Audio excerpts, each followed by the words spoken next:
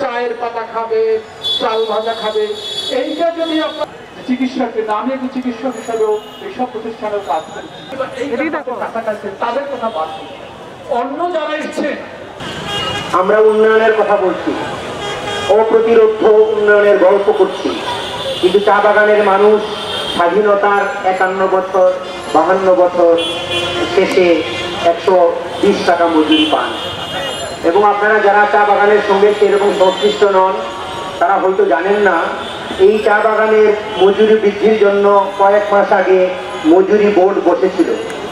সেখানে মজুরি বোর্ড ঠিক করেছিল, প্রথম শ্রেণির চা বাগানের জন্য একশো বিশ টাকা মজুরি, দ্বিতীয় শ্রেণির চা বাগানের জন্য একশো আঠারো টাকা মজুরি, এবং তৃতীয় শ্রেণির চা বাগানের জন্য একশো সতেরো টাকা মজুরি তারপর থেকে আজকে এই চূড়ান্ত পরিণতি আন্দোলনে।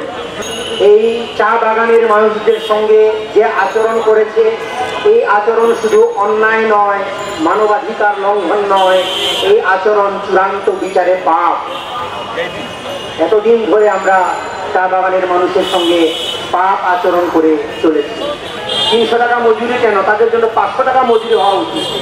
তারা তো কোনো সোনার হরিণ বা স্বর্গরাজ্য চাচ্ছেন তারা চাচ্ছেন তিনশো টাকা মজুরি এখানে বন্ধু যারা আপনারা আছেন আপনারা দেখবেন তিনশো টাকা মজুরি এই বাজারে কিছুই নয়। কম বলা হয়। আমাদের আহ, জ্যোতির্ময় বলেছেন যে তাদের চা বাগানের মালিকদের সাথে গভর্নমেন্টের বসা খুব জরুরি। আজকে আমাদের ভাতের জন্য হাহাকার করতে হচ্ছে। আজকে আমাদের বৈষম্য রোধের জন্য আন্দোলন করতে হচ্ছে আজকে আমাদের চা শ্রমিকদের জন্য একশো বিশ টাকা মজুরি দিতে হচ্ছে। তখন আমরা আবারও বলতে পারি, আমরা কি আদৌ স্বাধীন হয়েছি? কেন আমরা এখন একশো বিশ টাকা মজুরি নিয়ে কথা বলব কেন এই মানুষগুলোকে আমরা বাংলাদেশের নাগরিক ভোট আনকোট নাগরিক হিসেবে তাদের সম্মান, তাদের যা প্রাপ্য, সেটা আমরা আদায় করতে পারলাম না। এই ব্যর্থতা আমাদেরও। সবার প্রতি সংহতি এবং এই চা শ্রমিকরা তাদের ভূমির মালিকানা ফিরে পাক তাদের যে ন্যায্য দাবি মজুরির উপরে সেই দাবি তাদের প্রতিষ্ঠিত হোক এই প্রত্যাশায় এবং সংহতি প্রকাশ করে আপনাদের ধন্যবাদ জানিয়ে শেষ করছি। ক্ষমতায় আসার ক্ষেত্রেও তারা একটা কথা গুরুত্বপূর্ণ একটা কথা রাজনৈতিক দল হিসাবে তখন বলার ছিল, খাওয়ার ব্যাপারটা সারাদিনে কি খায়? এই গল্পটা আপনারা ফেসবুকে আমাদের এই চা শ্রমিকদের প্রতি এত অপমান এত অন্যায় এটা আমরা কোনো মতেই সহ্য করব না। আজকে যে সভা হচ্ছে আমি সবার পক্ষ থেকে এবং আমাদের নারী গ্রন্থ প্রবর্তনের পক্ষ থেকে বলতে চাই আজকে যদি তিনশো টাকার কমে কোনো সিদ্ধান্ত হয়, সেটা কোনো কেউ আমরা মেনে নেব না।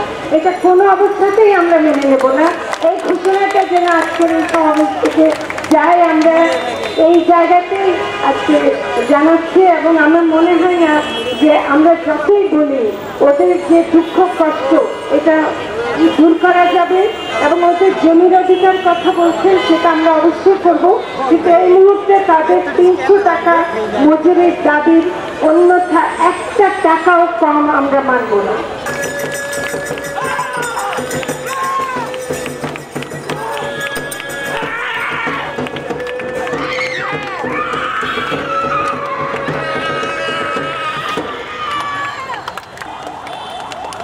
আরে ভাই, আপনি মাঝখান